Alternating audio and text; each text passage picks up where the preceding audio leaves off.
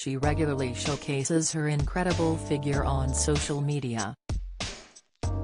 And Chloe Ferry was at it again on Thursday as she took to Instagram to share new sizzling snaps. The 25-year-old reality star put on a very busty display in a tiny grey velvet cropped cutout hoodie which highlighted her toned figure.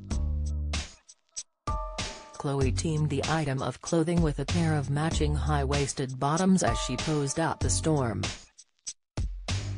The Geordie Shore star wore her brunette locks into a sleek straightened hairdo, she added a slick of radiant makeup and oversized black sunglasses. Chloe knew how to work her best angles as she posed up the storm for the new sizzling snaps.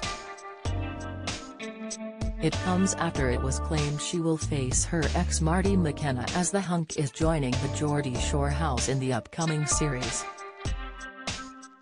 The couple had a turbulent relationship which played out on the show before the blonde beauty ended things in 2017.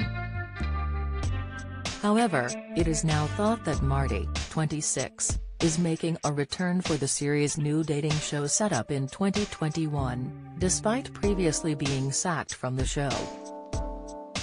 A TV insider told The Sun, Chloe had no idea Marty was going to be coming into the Geordie Shore house. It will be explosive. She is newly single and this series has a dating twist, so she thinks she is going to just be coming face to face with new potential lovers, not old ones.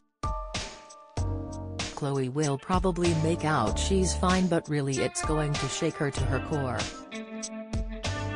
Earlier this month Chloe confirmed she had split from Hollyoaks hunk Owen Warner just days after going Instagram official during a Portugal getaway.